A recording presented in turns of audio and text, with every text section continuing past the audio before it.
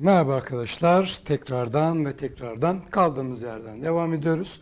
Muhasebe sürecinden bahsedeceğim.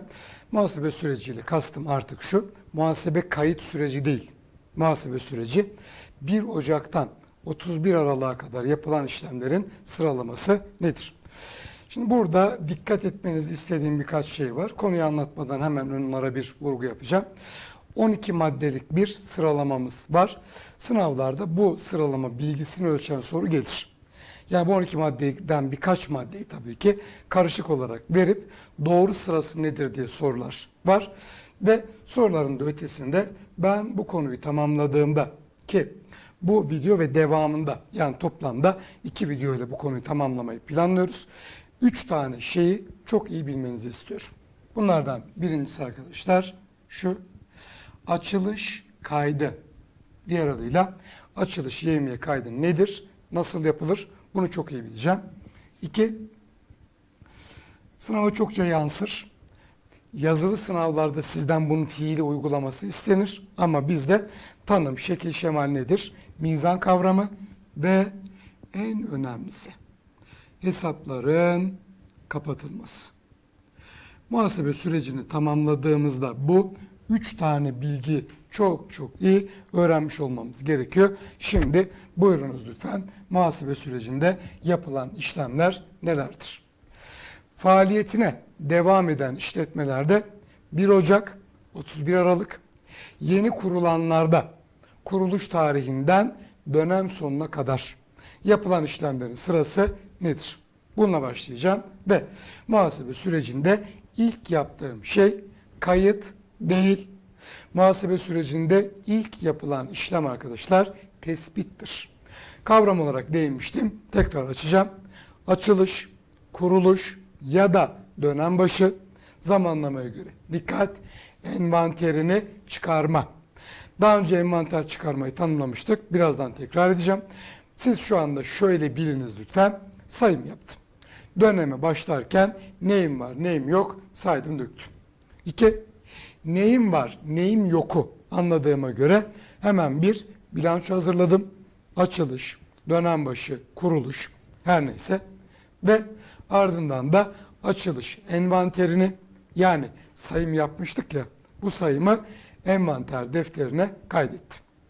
İlk üç işlem sayım yap 1, bilanço hazırla 2, envanter defterine kayıt yap 3, iyi öğrenmem gerekiyor 4, açılış kaydı. Diğer adı açılış yevmiye kaydını yap. Birazdan detayını vereceğim. Açılış kaydında aktif hesaplar borçlandırılırken pasif hesapları alacaklandır. Açılış kaydını yapmak ister isem açılış bilançosuna dön. Bilançoda yer alan aktif hesapları sol üst köşeye sırala. Pasif hesaplarda sağ alt tarafa sıraladın. Ve hatırla yevmiye defterine kayıt yaptıktan sonraki işlem bunu büyük deftere aktarmaktı. Muhasebe sürecinde yapılan 12 tane temel işlem var. Bunlardan ilk 5 işlem budur. Sayım yap 1, bilanço hazırla 2, envanter defterine kayıt 3, açılış kaydı 4, birazdan detayını vereceğim. Bunu büyük deftere aktar 5. Şayet sen faaliyetine devam eden bir işletmeysen bunları 1 Ocak tarihinde yaptın. Yeni kurulduysan de kuruluş tarihinde bunları yaptın. Sonrası madde 6 günlük işlemlerin kaydedir. Günlük işlemleri kaydederken önce yevmiye defterine kaydet, sonra büyük deftere aktar. Birazdan göreceğiz. Her ayın sonunda bu aktarma doğru mu değil mi? Bir tablo hazırlarız ve seyrimiz artık 31 Aralık'a kadar böyle gider. Yevmiye defterine kaydet, büyük deftere aktar. Her ayın sonunda yaptığın aktarmayı adına mizan dediğimiz tabloyla kontrol et. Geldim 31 Aralık'a ne yapacağım? Dönem sonunda yaptığım ilk işlem şu. Dikkat et. Genel ama detayını vereceğim. Geçici bir mizan çıkar. Sonra madem ki yıl sonuna geldin, yılın sonunda da bir sayım yap. Envanter çıkar ve sayım yaptığında A yapılması muhtemel kayıtlar var. B. Yapmak zorunda olduğun kayıtlar var. Yapılması muhtemel kayıtlar şu. Sayım yaptığında eksik çıkabilir, fazla çıkabilir. Hatayı bulabilirsin. Bunları düzelt. Yapmak zorunda olduğun en önemli kayıt da gelir ve gider hesabını burada kapatacağız. Sonra dönem sonu envanter işlemlerini kaydettim ki buradaki en önemli işlem gelir ve gideri kapat. Sonra kesin mizan çıkar. E sonra da artık mali tabloları hazırla ve aktifle pasif hesabı kapat. Şimdi burada muhasebe sürecinin sıralamasına çalışırken şu anda başlangıç düzeyinde oturup kuru bir ezber yapmayın. Gerek yok. Dönem içerisinde konular işledikçe bu yerli yerine oturacak. Ama burada şuna dikkat edin. İlk 5 işlem faaliyetine devam eden bir işletmeysen şayet bunları 1 Ocak'ta yapıyorsun. Son 5 işlem madde 7 12 arası da dönem sonunda yapılan işlemlerdir. Dedim ki konuyu tamamladığımda 3 şeyi çok iyi bilmen lazım. Açılış kaydı 1, mizan 2, kapanış işlemleri 3. Şimdi bunlara geçmeden kavram olarak şunu bir kere daha tanımlayalım. Envanter çıkarma ne demektir? Dönemin başında yaptım. Yetmedi. Dönemin sonunda da yaptım. O zaman buyurun lütfen kavram olarak bakalım. Muhasebe sürecinde envanter çıkarma nedir? Vergi usul kanunu bu tanımı yapmış ve demişti ki saymak, ölçmek, tartmak ve değerlemek suretiyle varlıkları, alacaklar, borçları kesin ve ayrıntılı bir şekilde tespit et. Biz şimdilik bunu çok kabaca sayım gibi düşüneceğiz. Yine başlangıç düzeyinde. Envanter çıkarma işlemleri, envanter çıkarma işlemleri iki temel aşamadan oluşuyor. Bir, muhasebe dışı, iki, muhasebe. Muhasebe dışı envanter dediği şu. Dikkat et. Büyük defter kayıtları dikkate alınmadan. Yani muhasebede ne yazdığı umurumda değil diyor. A. Say. B. Değerleme yap. Buna göre sen kumaş satan bir işletmeysen yıl sonunda ölç. Kaç metre kumaşın kaldı bul. Bu miktar tespitidir. Yetmez. Bir de bunun değerini hesaplayacaksın. Muhasebe dışı envanterde yaptığımız budur. Örnek, bankadan hesap özeti alma muhasebe dışı envanterdir. Kasayı sayma muhasebe dışı envanterdir. Tamam Muhasebe içi envanter ne? Muhasebe dışı envanter sonuçlarını muhasebe kayıtlarıyla karşılaştır. Ve bu karşılaştırmada zaten bir fark bulursan onları kayıt altına al. Bu da muhasebe içidir. İleride bunları çok detaylı olarak vereceğim. Şimdilik basit kavram düzeyinde temel bilgi olarak aktardık. Peki gelelim şu açılış kaydı ve mizan dediğimiz şey. Mizan sen işlemleri YMY defterine kaydediyorsun. Sonra bunları tek tek büyük deftere aktarıyorsun. Hatırla lütfen. Demiştim ki YMY defteri toplu kayıt yapılmasına imkan veren bir defterdir. Maddeler halinde kaydım yaptım ve ardından YMY defterine yapılan bu işlemleri tek tek oturup büyük deftere aktaracağız.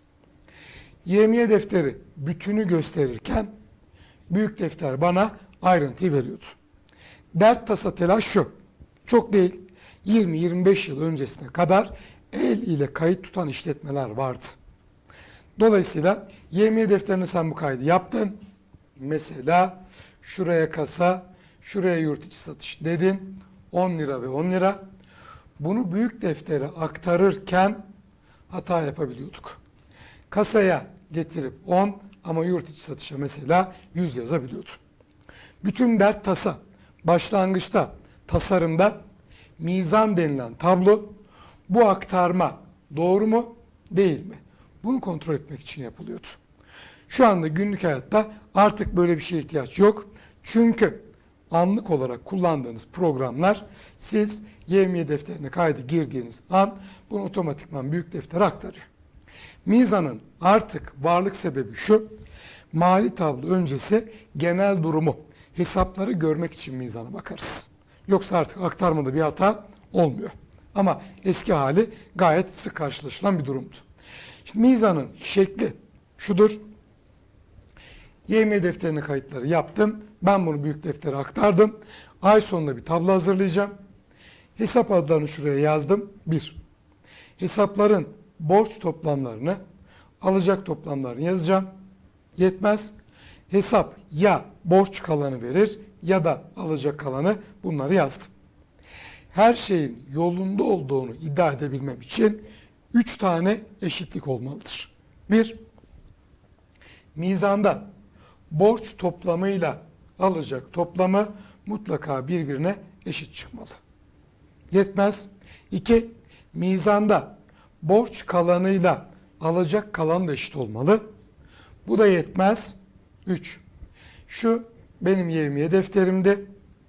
Yevmiye defterinde şu borç toplamıyla mizanın borç toplamı yine yevmiye defterindeki şu alacak toplamı mizanın alacak toplamıyla eşit olmalı. Bu eşitlikler varsa tek bir anlam içerir. Aferin sana. Yevmiye defterinden büyük deftere aktarma yaptın. Yaptığın aktarma doğru. Başka bir anlamı yoktur.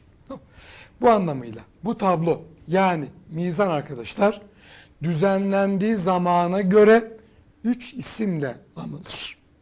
A.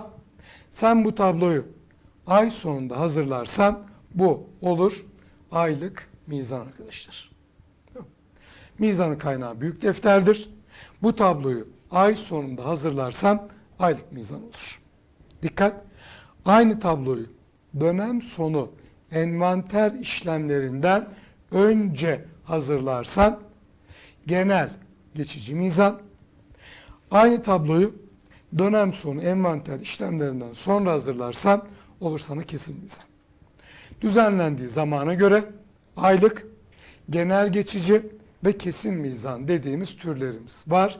Şimdi dikkat. Biraz önce dönem sonu envanter işlemlerinde sıra şuydu. Genel geçici mizanı çıkar. Sonra dönem sonu envanterini yap. Dönem sonu envanterini kaydet ki burada yapılan en önemli işlem gelir ve gideri kapatmaktı. Sonra da kesim mizandı. Tanıma dönelim. Bu tablo ay sonunda hazırlanırsa aylık mizandı. Ama bu tablo dönem sonu envanter işlemlerinden önce hazırlanırsa genel geçici. Aynı tabloyu envanterden sonra hazırlarsam adı olur kesin mizan. Şeklini gördüm, tanımına baktım. Mizana dair test sınavları açısından bilmem gereken iki tane çok önemli detay var. A. Mizanın kaynağı büyük defterdir. Yani ben bir hesabın borç toplamını, alacak toplamını nereden bulup da yazacağım? Büyük defterden. B. Genel geçici mizanla kesin mizan arasında lütfen dikkat son derece önemli bir içerik farkımız var. İçerik farkı. Şekli aynı ama içerdiği bilgi anlamında fark var. Gözümün önünde fark etmem yeter. Genel geçici mizanı çıkardığımda henüz gelir ve gider hesapları kapatılmamıştı. Çünkü gelir ve gideri kapatma genel geçici mizandan sonra kesin mizandan önce yapıldı. O halde sınava defalarca yansıdı. Genel geçici mizanla kesin mizandaki içerik farkı şudur. Genel geçici mizanda gelir ve gider hesapları yer alır ve kalan verir. O ne demek? Daha gelir ve gideri kapatmadığım için genel geçici mizana baktığımda örnek şurada yurt içi satışı ve alacak kalanı verdiğini görebilir. Ya da satılan ticari malın maliyeti borç kalanı verdiğini görebilirim. Daha kapanmadı. E kesin mizanda kesin mizanın bir önceki aşaması gelir ve gideri kapat. Bu yüzden deriz ki dikkat gelir ve gider hesapları kesin mizanda yer alır ama kalan vermez. Yer alır ne demek? Şuraya baktığımda gelir gider bütün hesapları göreceğim. Ama kesim mizandan hemen önce kapanış işlemi yaptığım için burada kalan vermeyecek. Toparla. Mizan nedir? YM defterinden büyük deftere aktarma yaptım. Doğruluğu kontrol için hazırlanan tablodur. Türü ay sonunda hazırlarsan aylık, envanterden önce genel geçici, envanterden sonra kesin. Genel geçici ile kesin arasındaki fark nedir? Gelir ve gider hesapları her ikisinde de yer alır. Fark genel geçici mizanda kalan verirken kesin mizanda kalan vermez. Muhasebe sürecinde mizana dair bilmem gereken temel bilgi budur. Peki geldik pek meşhur noktamıza. Açılış kaydı neydi? Yevmiye defterine yapılan ilk kayıt. Sadece aktif ve pasif hesaplardan oluşurdu. Bir açılış kaydında gelir hesabı ya da gider hesabı olmaz. Sadece aktifle pasif olur. Nasıl? Buyurun örneğe. Efendim İpek Yayıncılık Limited şirketinin bilgileri şöyleymiş. Şimdi bu bilgilere göre önce bir bilanço hazırlayacağım. O bilançoya bağlı olarak da açılış kaydı yapacağım. Bilançoyu hazırlarken şu sınıflandırmayla başlıyorduk. Görmüş olduğunuz bu veriler A. Varlıktır. Yani aktif. B. Kaynaktır. Yani pasif. Buyurun birlikte sınıflandıralım. Bilanço temel eşitliğine göre varlık toplamı sermaye artı borç toplamına eşit. Bunlardan hangileri varlıktır? Kasa varlıktır. 1. Hisse senedi varlıktır. 2. Efendim cari mal varlıktır. 3. Demirbaş varlıktır. 4. Tesis varlıktır. 5. Buna göre kasa 12 bin, hisse senedi 6, ticari mal 10, demirbaş 6, makine 8. Varlıkların toplamını alır isem 42. Nereden buldum? Bilanço bir beyandı. Neye sahip olduğumu ve nereden bulduğumu açıklardı. Sahip olduklarımı sıraladım. 42. E nereden buldum? Borç senedi 1. Banka kredisi 2. Efendim çıkarılmış bono ve senetler 3. Bir de satıcılar 4. Buna göre kaynaklarımın toplamı 42. Bunun 19 bini öz kaynak iken geriye kalan 23 bin lirası da e, yabancı kaynak olur. Şimdi bu benim bilanço temel eşitliğim. Döneme başlarken muhasebe sürecinde bir envanter çıkardım. İki bilanço hazırladım. Şimdi üç bu bilançoya göre açılış kaydını bir beraber yapalım. Bilançoda varlıkların toplamı bu. 42. Kaynakların toplamı da bu. Bu hesap tipi bir bilançoydu. Ve bu bilançoda arkadaşlar 42 bin liralık varlığım var. E nereden buldum? 23 bin lirası bunun e, yabancı kaynak. Geriye kalan kısmı da öz kaynaktır dedim. Beni ilgilendiren kısmı şurası açılış kaydıydı. Bakalım. Açılış kaydı bilançoya göre yapılır. Bilançoda yer alan aktif hesapları açılış kaydında borç tarafa, bilançoda yer alan pasif hesapları da alacak tarafa kaydetmiş oldum. Bir açılış kaydında sadece aktifle pasif hesaplar olur. Açılış kaydında gelir ya da gider olmaz idi. Daha önce birkaç kez şöyle sorular soruldu. Kaydı verip hangi hesap yanlış kullanılmıştır diye sordu. Açılış kaydında borç tarafta aktif, alacak tarafta da pasif hesapları sıralamam yeterli. Gelir ya da gider hesapları burada yer almayacak dedik. Muhasebe sürecinin ilk iki önemli bilgisini edindik. Bir, açılış kaydı. İki, mizan nasıl yapılır buna değindik. Şimdi son derece önemli bir işlemimiz var. Bir sonraki videoda onu göreceğiz. Hesapların kapatılması. Diğer videoda görüşmek üzere. Kendinize iyi bakın efendim.